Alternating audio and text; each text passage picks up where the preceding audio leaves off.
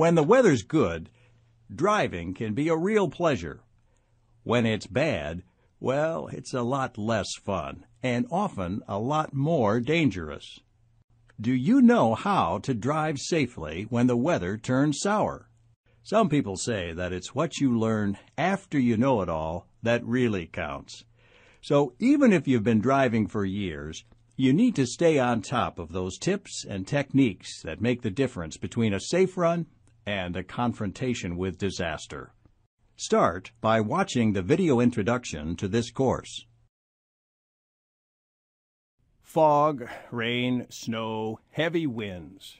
Driving in bad weather can be a real pain. It's also dangerous, especially if you aren't smart about it. And that's not even saying anything about how other people drive. When the weather's bad, sometimes it would be nicer to just stay inside at home. Since that's not always an option, you've got to know how to handle your rig so that you and everybody else on the road can stay safe when driving conditions aren't ideal.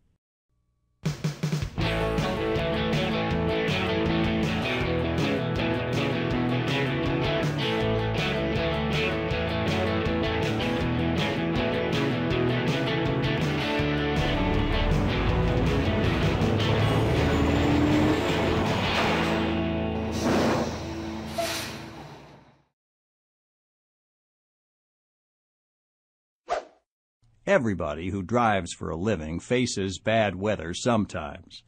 This can be one of the toughest parts of your job. When every decision you make is a critical one, it's especially important that you know how to handle your rig. Often, this means slowing down, but you may need to take other precautions as well. In poor weather conditions, you won't be able to see as far, and you may encounter reduced traction as well. You've got to know how to drive safely and appropriately. In this course, you'll learn what to do in the event of bad weather. You'll also learn when it's better just to stay off the road. We'll start by talking about how to prepare yourself and your rig. Then, we'll discuss some general extreme weather strategies. After that, we'll move on to specific strategies for different kinds of extreme weather.